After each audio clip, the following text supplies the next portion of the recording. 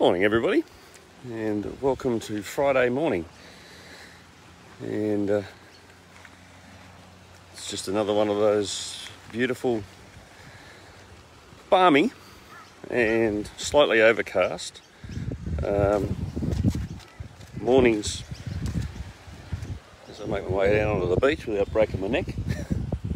um, one of those, yeah, just flat mornings, I guess. And uh, just wanted to do a quick uh, look down if this works. My feet.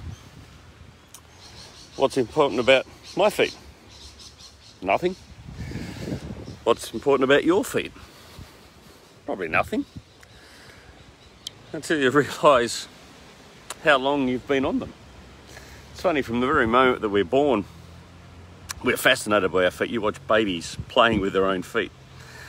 And then we can't wait to get on them, to run around upright.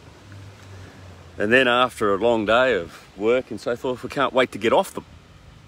Um, and I'd hate to kind of add up the hours um, that I've spent on my own feet. Uh, and perhaps you could work out the math for yours too. And some of us spend longer on our feet than others, and and if the national surveys are right and the estimations of people's uh, walking and habits and sedentary habits, some of us probably should now start to spend more time on our feet, walking further distances and being more mobile and so forth. But I wanted to just read from Isaiah 52, and it starts in this morning's reading starts in verse 7 because it talks about feet. And it says this how beautiful on the mountains are the feet of the messenger who brings the good news, the good news of peace and of salvation, the news that the God of Israel reigns. The watchmen shout and sing with joy, for before their very eyes they see the Lord returning to Jerusalem. Let the ruins of Jerusalem break into joyful song, for the Lord has comforted his people, he has redeemed Jerusalem. The Lord has demonstrated his holy power before the eyes of all the nations. All the ends of the earth will see the victory of the Lord. It's fascinating that um, he uses that to start with feet. How beautiful are the feet of those on the mountain who, who take the good news, who proclaim salvation, that the Lord reigns, that the that mighty God is in control.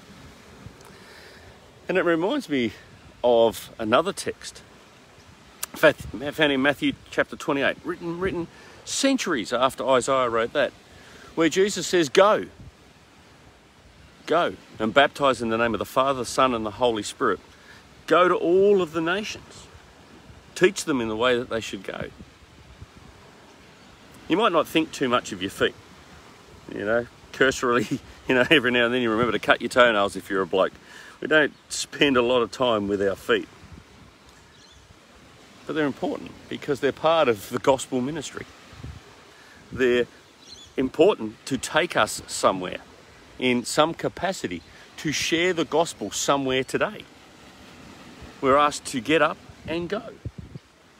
And those feet are considered beautiful, the ones that take the gospel.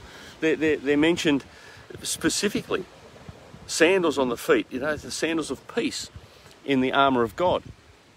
To, to take something somewhere, the, the gospel message has to go. Now, yes, okay, you could argue that the gospel message can be done behind a keyboard and we can do evangelism and ministry from a computer desk and online and through Zoom. Yes, that's possible. But there's nothing like good old face to face contact. There's nothing like good old getting up and walking across the road to the neighbour or walking down the street to visit or to go somewhere. I don't know where the Lord's asking you to go today, but He's certainly asking us to go somewhere.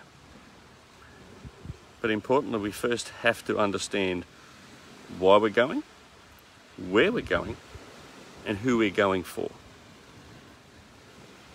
I don't know where the Lord wants to take you today or for the rest of your life, but listen for His voice because the message is clear. The Lord God has redeemed us and He reigns. And that is what we are marching towards to celebrate um, each Sabbath we celebrate the proclamation of that message. This Sabbath we're going to pro- proclaim the first advent of Christ and why that was important for the history of the world and the history of humanity. That's the message we're proclaiming. So, take a pause right now. Look down at your feet while I pray and contemplate where the Lord is asking you to go. Father in heaven, Lord, thank you for the majesty and the beauty of this day. Thank you for your presence that is ever present in it. And thank you for your presence in our lives.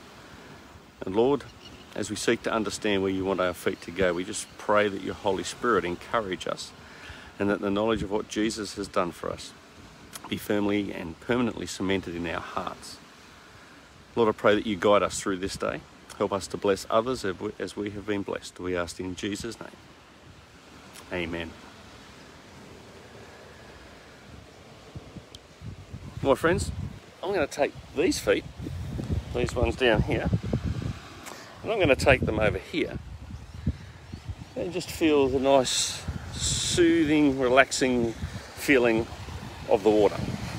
Now, I'm sorry if this makes some of you a bit jelly, but you can always get up and go and find a little beach like this whenever you knock off or whenever you start work or whatever you've got going for the day. And just, um, yes, that's very nice. So until I see you all, take care, God bless, and I'll see you soon.